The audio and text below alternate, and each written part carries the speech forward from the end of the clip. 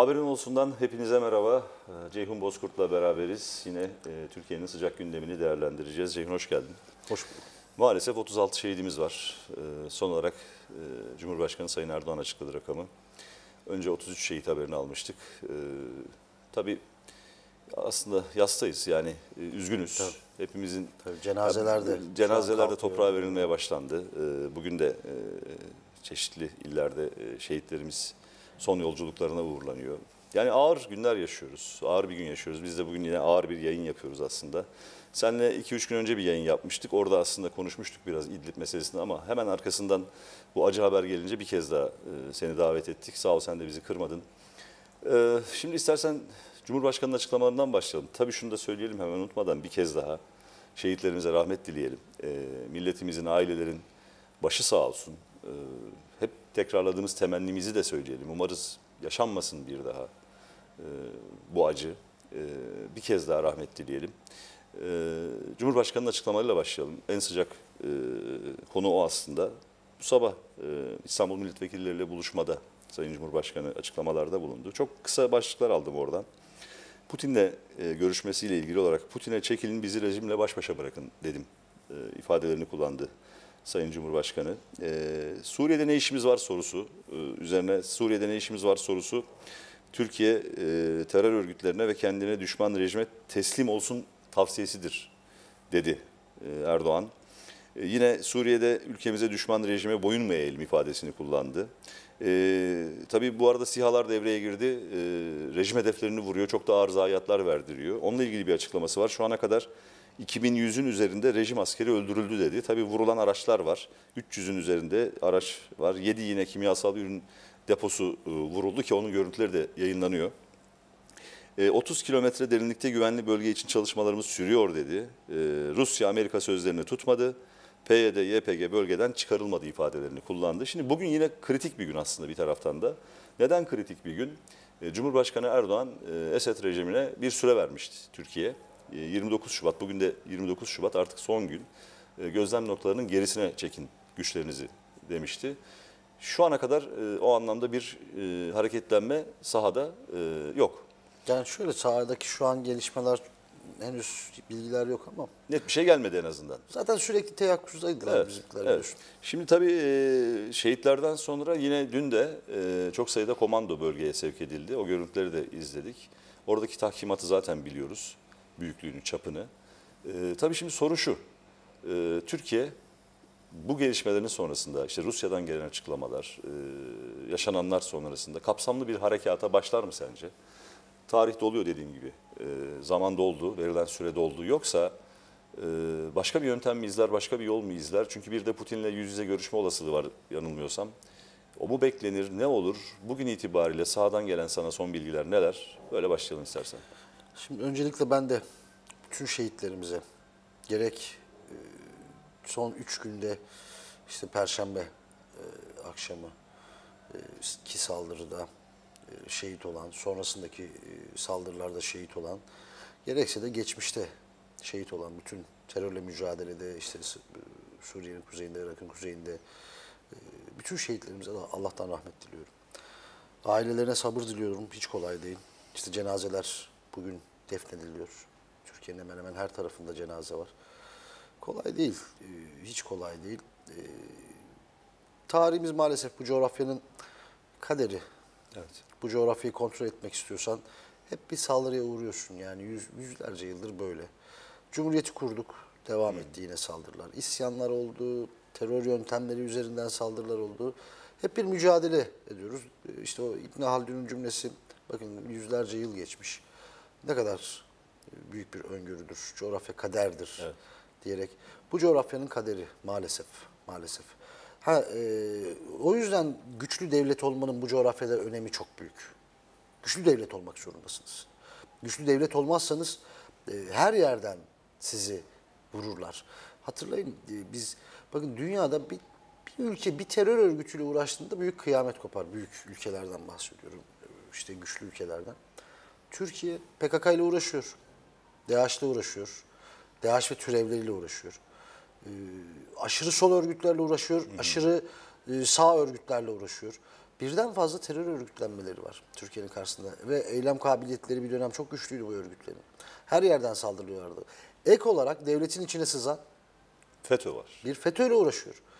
Ee, Dünyada başka ülkelerin kaldıramayacağı, birçok güçlü ülkeleri de kastediyorum, kaldıramayacağı bir mücadele yürütüyor. Bu örgütlerle mücadele olmasa bakın Türkiye bugün dünyanın belki de en gelişmiş ülkelerinden biri olurdu. Yüz milyarlarca dolarlık kaybımız var bu örgütlerle mücadeleden dolayı. Tabii. Onların saldırılarından dolayı turizm kaybı oluyor. E, askeri yatırımlarını arttırmak zorunda kalıyorsun. Silaha para ayırmak zorunda kalıyorsun. Birçok anlamda kaybımız var. Can kaybımız her şeyden önemli zaten. Tabii tabii. En Can kayıplarımız var. Yani e, bu coğrafyanın kaderi maalesef. Yani bu cümleyi e, herkesin bir kere bunun kafasına sokması lazım. Bu şeyden dolayı söylemiyoruz. Kimse de bunu bu, bu şekilde söylemiyor yani. Ya e, işte öleceksiniz falan filan yapacak bir şey yok anlamda söylemiyorum. Tek bir canımızın, tek bir Mehmetçiğimizin, vatandaşımızın tırnağını o saldırı yapan alçaklara değişmeyiz. Bütünle değişmeyiz yani. Tek bir tırnağını. Dünyaya değişmeyiz. O ayrı bir şey. Ama saldırıyorlar. Çünkü bu coğrafyadasın sen. Dünyanın en kritik coğrafyalarından birini kontrol ediyorsun. Saldırıyorlar. Saldırmaya da devam edecekler. Bugün de saldıracaklar, 10 sene sonra da saldıracaklar, 100 sene sonra da saldıracaklar. Allah göstermesin, örnek vermek açısından söylüyorum. Diyelim ki Türk devleti 100 sene sonra, 1000 sene sonra gitti, başka bir devlet geldi. Bu coğrafyayı kontrol eden devlete yine saldırırlar. Çünkü sen Anadolu'yu tutuyorsun. Üç kıtanın birleştiği noktayı tutuyorsun. Boğazları tutuyorsun. Bu çerçevede tekrardan şehitlerimize Allah'tan rahmet diliyorum. İnşallah e, devamı gelmez. Tabii ki e, mücadele sürüyor.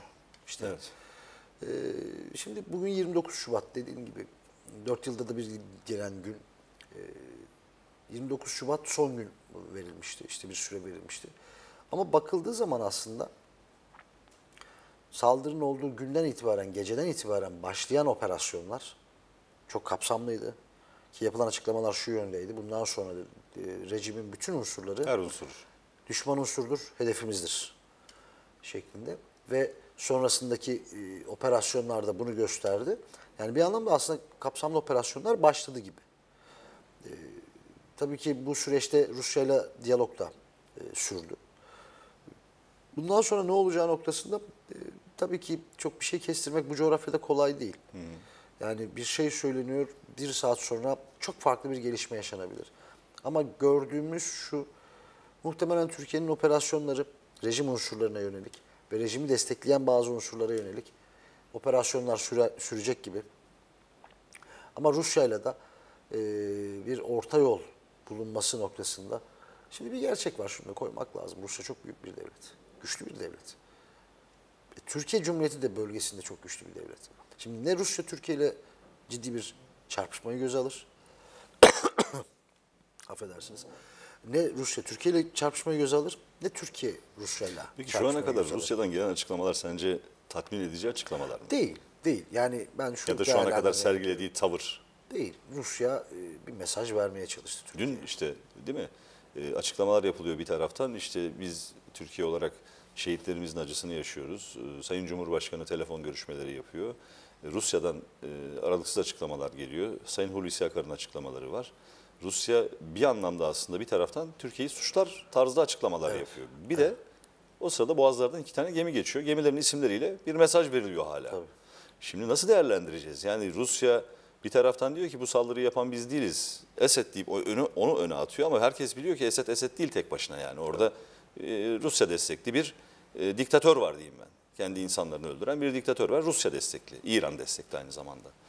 E, bir taraftan da diyorlar ki işte Türk askerlerinin yeri bize bildirilmemişti. Bildirilmesi gerekiyordu o koordinatların. E, zaten biz yapmadık saldırıyı. Hatta şu söyleniyor, bu aşamadan sonra Türkiye kapsamlı bir harekat yaparsa Ankara açısından sonuçları daha da kötü olur gibi bir açıklama daha geliyor. Şimdi bunları nereye koyacağız, nasıl değerlendireceğiz?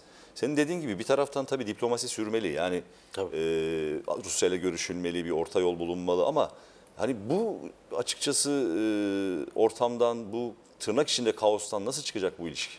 Ben açık söyleyeyim Rusya'nın son dönemdeki tutumu ki ben Rusya ile e, iletişime çok önem veren insanlardan biriyim. Yani önemserim.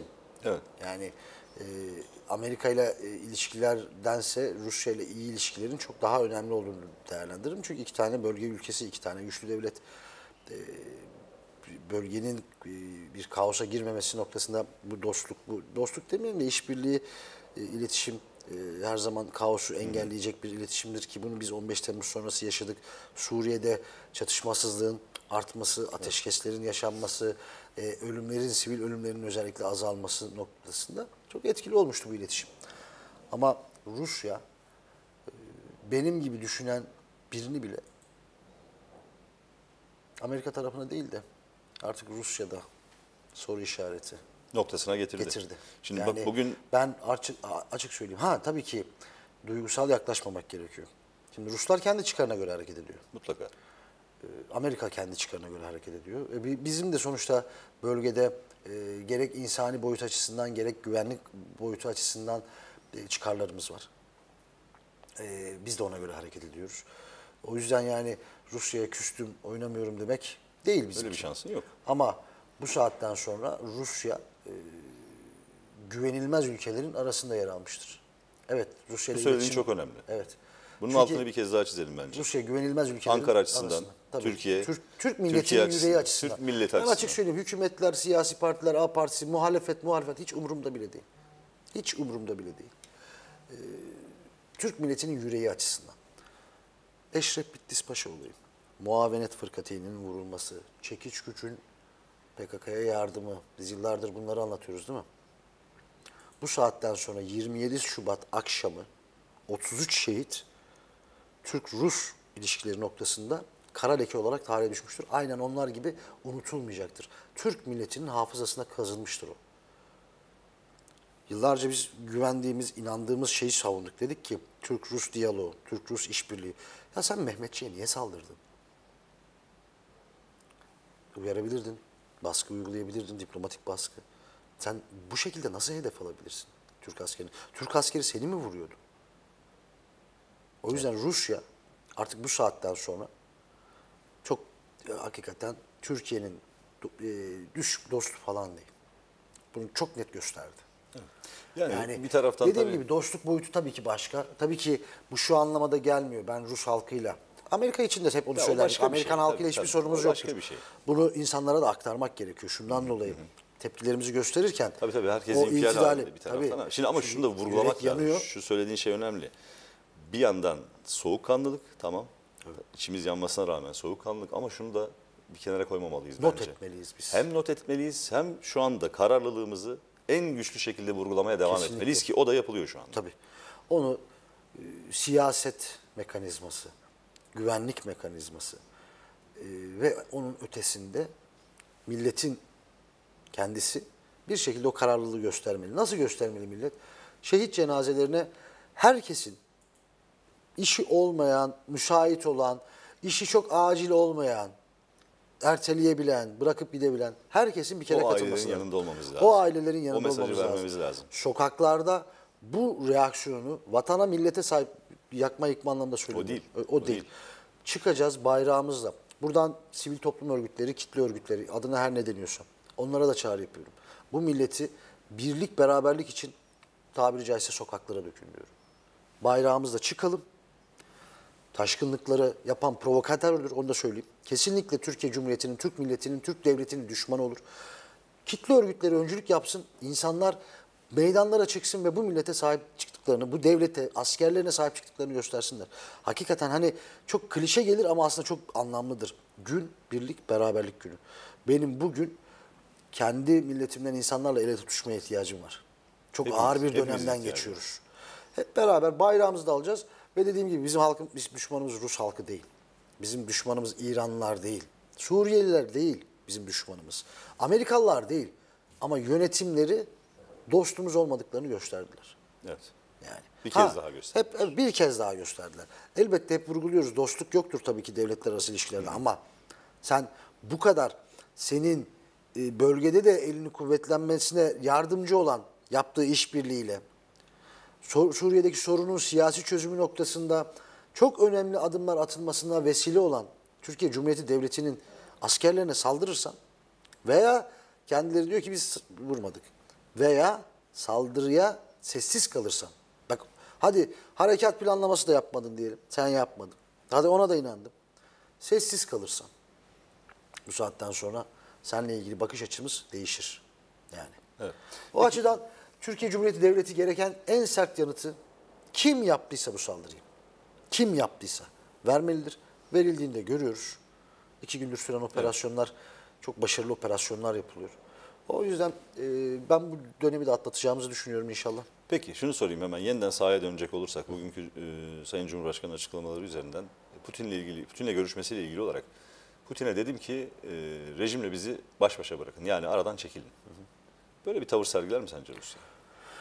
Ya belli noktalarda dediğim gibi Türkiye'yi de kaybetmek istemez. Tamamen karşısına almak istemez. Ee, sonuçta Rusya, İsrail Şam'ı sürekli bombalıyor. Suriye topraklarını bombalıyor. Sesini çıkartmıyor. Niye çıkartmıyor? Evet. E, Türkiye'yi hedef alan bir unsur var orada. O unsuru Türkiye'nin hedef alması kadar doğal bir şey yok. Rusya'da artık aklı selimin galip gelmesi ve bu noktada Türkiye'nin gereken yanıtı vermesi noktasında sessiz kalması gerekiyor. Aradan çekilmesi, Çekilmesi gerekiyor. Ve e, olabilir de. Bu dönem çünkü son bugün yapılan açıklamalar e, bir diyalog kanalının tekrar e, Evet, evet. Bir Rus heyet açıldı. buradaydı biliyorsun. A- Orada aynen. görüşmeler yapıldı. Moskova'dan ilgili- da e, olumlu açıklamaları geldi şimdi bugün. E, o yüzden bu konuda bir sıkıntı olacağını zannetmiyorum. Türkiye zaten kararlılığını gösterdi, göstermeye de devam edecektir. inanıyorum. İHA SİHA operasyonları çok, çok etkili önemli. oluyor. O çok önemli. Tabii onu aktarmak lazım. O şundan dolayı etkili. Hava sahası sebebiyle şu anda Tabii. İHA ve SİHA bizim için çok önemli. Tabii. Sonuçlarını da e, görüyoruz. Sayın Cumhurbaşkanı da açıkladı nasıl sonuçlar alındığını. E, ve e, onunla ilgili e, bir takım değerlendirmeler vardı. E, bu SİHA saldırılarıyla ilgili olarak. E, bir e, uzmanın yazdıklarını okudum ben. E, onun dediğiyle aktarıyorum. Tarihte bir ilk diyor. Sürü SİHA saldırısı e, ve şokta diyor rejim güçleri şu anda e, paralize olmuş durumdalar. Çünkü böyle bir şey hiç beklemiyorlardı. Doğru. Doğru. E, hakikaten öyle mi? E, ve e, SİHA'nın, İHA'nın etkisi orada şu süreçte özellikle bugünlerde nasıl bir psikoloji yaratır karşı tarafta? Tabii her an karşısına çıkabilecek bir güç. Biz şeyde e, Zeytin Dalı Harekatı'nı takip ederken karşıdaki unsurların psikolojisini gösterme açısından Mete Yarar'ın e, kurgu roman serisinin sonunda vardı o ifade. Biz biliyor yani o dönemde takip ediyorduk, biliyorduk bu olayı. Çok ilginç bir ayrıntıdır. Bir terörist e, SİHA'ya teslim olmuştu. Gökyüzüne bakıp ellerini yukarıya kaldırmıştı. SİHA'nın böyle bir etkisi vardır.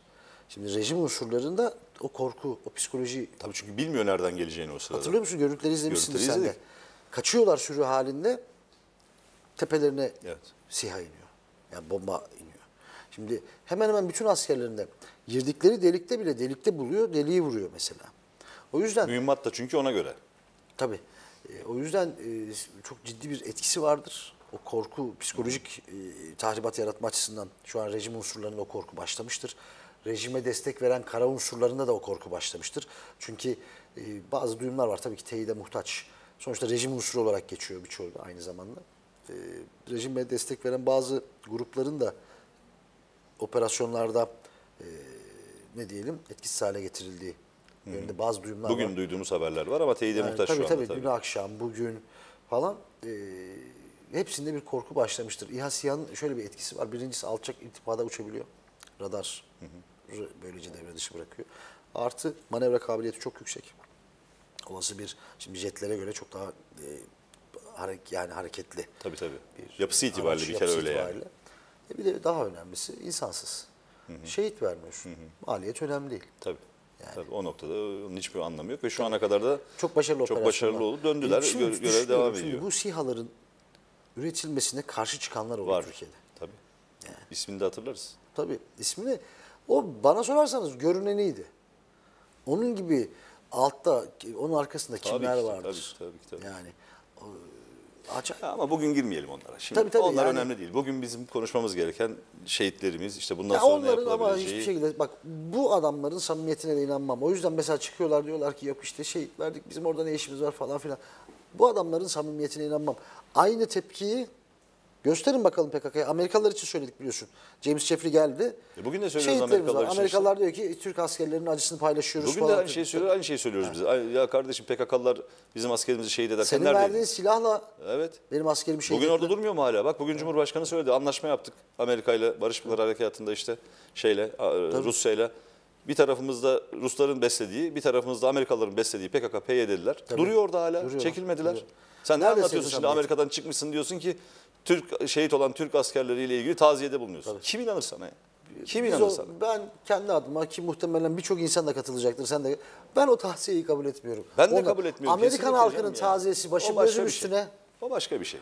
Ama Pompeo'nun, James Jeffrey'nin taziyesini Bak kabul arkadaş, etmiyorum. Bunlar fırsatçı değil mi? Aynen öyle. Bunların derdi bizim şehit olan Mehmet'imiz mi? Ne Değil, bunların derdi değil, şu anda? Rusya ile Türkiye orada birbirine düşsün. Ben çıkarımla ilgili ne kazanıyorsam şu anda kazanayım. Şehit de olsun orada, Türkiye'yi de vursunlar. Bunların umurunda falan değil arkadaş ya. Bak bizim bundan sonra şeyi konuşmamız lazım bana sorarsan. İşte bu mesele oraya geliyor yani. Amerikalıların samimiyeti yok. Rus'un samimiyeti yok. Diyoruz dostluk yok aslında böyle bir şey. Biz ne yapmalıyız bundan sonra? Mesele o zaten. Bak sosyal medyada Bak da yazdım. soru oydu bende. Şuraya not aldığım soru oydu. Bunları konuşuyoruz. İşte Amerika'ya bilmem ne destek verecekmiş bize. Yok kardeşim Amerika bize destek meslek Vermez. vermez. Vermez. Verir gözükür. Aynen. Öbür taraftan gider PKK'lıyı besler. Tabii. Oradan vurdurur seni Şimdi- tamam mı? Bak bu böyledir. Yıllardır da böyledir öyle bu. Hiç bunun ba- başka bir şey aramaya gerek yok. Mesele şu. Ya biz bir daha böyle kayıplar vermemek için biz ne yapacağız? Bunu konuşalım. Tabii. Birincisi iç cepheyi tahkim edeceğiz. İç cepheyi sadece birlik beraberlik söylemleriyle tahkim etmeyiz. Ne yapacağız? Bir kere siyasette elbette ki farklılıklarımızı söyleyeceğiz ama siyasetteki üslubu değiştireceğiz. Eleştiri yaparken aslında az önce SİHA örneğini verdik. Türkiye SİHA üretirken çıkıp öyle garip garip laflar etmeyeceğiz. Doğu Akdeniz'de ne işimiz var demeyeceğiz. Doğu Akdeniz'e en fazla sınır olan ülkeye. Ee, Elbette ki iktidar da dikkat edecek. Herkes dikkat edecek. Evet. Birincisi iç cephe böyle. İkincisi e, sosyal anlamda, e, ekonomik anlamda gereken düzenlemeleri yapacağız. Bu toplumun huzura kavuşmasını sağlayacağız. Bu toplum çünkü bakın huzura kavuşmayan insanlar hep öyledir biliyorsunuz. Suç örgütleri en çok sorunlu Orayı kullanır. o- e, Oradan alanları beslenir. oradan beslenir. Sorun bir insanın kafasında sorun oluşursa her türlü propagandaya açık Öyledir. olur. Ters propaganda. Çıkış yolu arar, her yere gider. Tabii. Bugün FETÖ de oradan beslendi Oradan? Tabii, bir dönem. tabii. Çünkü PKK hep öyle. PKK hep Yıllardır öyle. öyle. Tabii. Bunu mümkün olduğunca sıfırlayamasak bile e, ne diyelim en düşük düzeye Minimuma indirmek Minimuma lazım indireceğiz. yani, tabii. Şimdi bunu yapacağız. İç, üçüncüsü e, algı operasyonlarına karşı çok böyle dikkatli ve bilimsel. Öyle garip garip çıkışlarla, sloganlarla iş yapmayacağız. Bilimsel çalışacağız. Çünkü karşı taraf bilimsel çalışıyor. Bakın öyle çalıştılar ki bugün iktidar ya orada beyaz dese hayır o zaman o diyorsa siyahtır diyecek bir kitle var. Bu kadar gözü dönmüş bir kitle.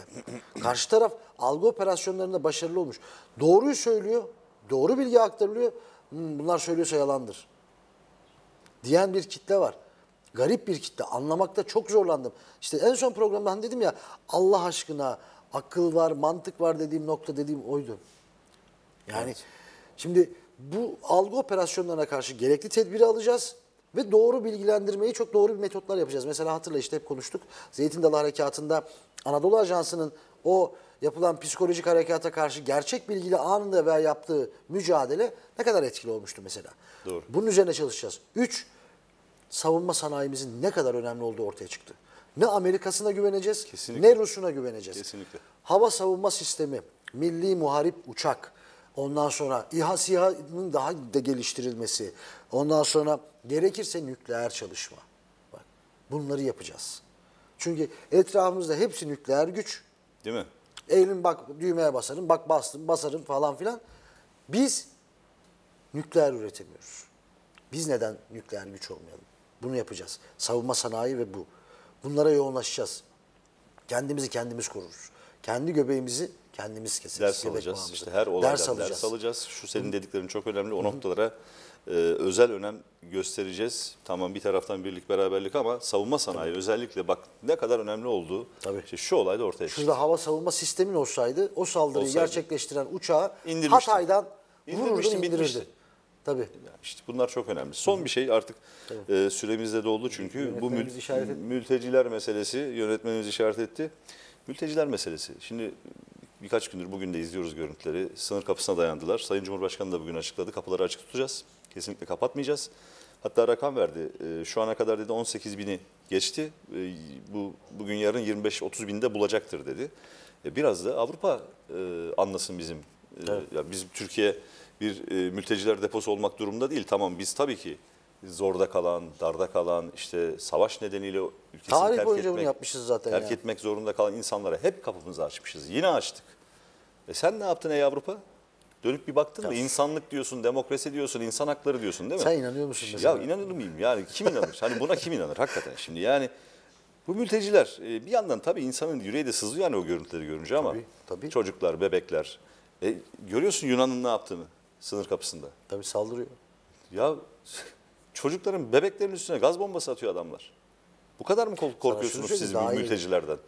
Daha fazla şey olsun silah bile kullanırlar. Sıkarlar, öldürürler orada ya, öldürürler. Şimdi bu mülteci meselesi sence nereye doğru evrilir? Avrupa açısından ne anlama gelir Türkiye'nin bu e, şeyi, e, bakış açısı? E, Ve hani e, belli ki bunların öyle bir Türkiye'de hani biz yardım edelim size mülteciler konusunda bize destek olun falan diyecekleri yok. Ben şöyle düşünüyorum herhalde bir 100 bin tane falan gitse Avrupa'ya bunlar Avrupa bayağı bir sar- herhalde bayağı bir sarsılır. Ya belki Avrupa'ya faydalı da olur biliyor bak musun? şöyle Çünkü bir şey Avrupa'da okudum. biliyorsun yaşlı bir nüfus var. O bir- Üretim noktasında. Ola- olabilir. Ee, şöyle bir şey okudum ee, yabancı basında. Ee, Yunanistan halkı bak daha bir şey yok ortada. Sayın Cumhurbaşkanı'nın verdiği rakama göre 18 bini işte zorlayarak kapıları geçmişler o tarafa. Yunan halkı şu an isyandaymış. Tabii. Daha bir şey yok. Kamplardan bahsediliyor. Kampların yapımı başladı galiba. Ee, olaylar çıkmış. Evet. Bak Türk insanı. Ha eleştirenler var, konuşanlar var. Boş konuşan da var açık söyleyeyim. Ee, hiç kusura da bakmasınlar veya baksınlar. Ama mantıklı çerçevede eleştirenler de var. Ee, onlara da saygı duyuyorum. Mantık çerçevesinde yapılan eleştirilere her zaman saygım var. Ee, bizde de eleştiriler oluyor ama hiç öyle bir şekilde e, öyle isyanlar şunlar bunlar falan yok. Görmedim. Biz, biz tarihimiz boyunca bir de e, bak kendi insanımıza kapıyı açmışız. Mesela Bulgaristan'dan gelenler oldu. Onlar evlerinden, barklarından biliyorsun baskılardan dolayı. İsimlerini ana vatana, insanların. Tabii ana vatana geldiler, sığındılar. E, Türkmenler dönem dönem geliyor böyle şey yapıyor. E biz Kuzey Irak Kürtlerine de açtık kapımızı. Biz Arap, Kürt, Türkmen, Biz etnik Suriye- kimliğine, Hiç- hiçbir ben- şeyine bakmadan ben insan yani- insan diye açtık. ben size şunu söyleyeyim yani Türkiye e, velev ki Ermenistan'da çok ciddi bir insani kriz oldu. İnsanlar kapılara dayandı. Bak Ermenistan'da gerginiz biz. Biz onlara bile kapıyı açarız. Doğru. İnsan. Hani bir laf var ya bizim milletimiz çok sever o lafı da çok güzeldir. Yaradılanı severiz, yaradandan ötürü hesabı. Yani biz insan olarak bakıyoruz. Bizim medeniyet kökümüz bu ama zaten. Bizim öğretilen- kodlarımız böyle. Bizim kodlarımız böyle. Ama Avrupalı'nın bakış açısı farklı. Avrupalı makine gibi bakıyor. Makineleşmiş bir yaşam. Bizde mesela büyük aile kültürü vardır. Bize mesela e, bu aslında genetik kodlarla bağlantılı bir şey bak. Yönetimlere de yansıyor bu. Almanya'da kullanılırmış. İşte e, Almanların psikoloğu, Türklerin komşuları vardır. Güzel Mesela. laf. Çok güzeldir mesela. Doğru. Şimdi bu kodlar yönetime de yansıyor. Avrupalı işgale gidiyor, Türk fethetmeye gidiyor. Fetih nedir? Olumsuz değildir. Fetih olumludur. Ee, gidilen yere medeniyet götürür, zenginliğini almaz, gasp etmez. Tam tersine o zenginliği Zenginlik o katar. Zenginlik katar. Kendi zenginliğini de katar. Oradaki zenginliği yaşayan insanlara da karışmaz. Mantığımız o yüzden de çok farklı. Bu olaya bakış açımız da o yüzden farklı. Mesela biz Suriye'ye gireriz. Orada şehirleri düzeltmeye çalışırız.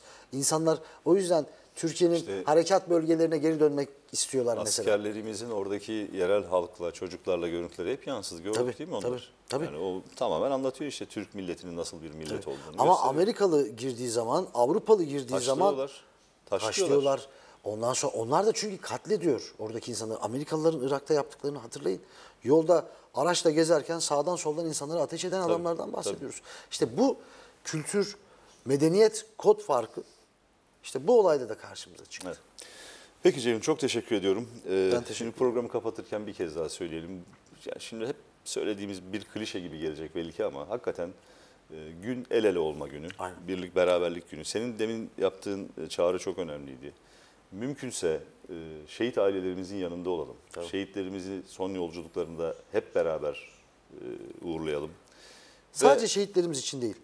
Bugün hala İdlib'de bulunan askerlerimize de manevi destek O anlamında. manevi desteği de gösterelim hep Tabii. beraber Ee, ve bir kez daha dileyelim ki böyle acı haberler artık almayalım.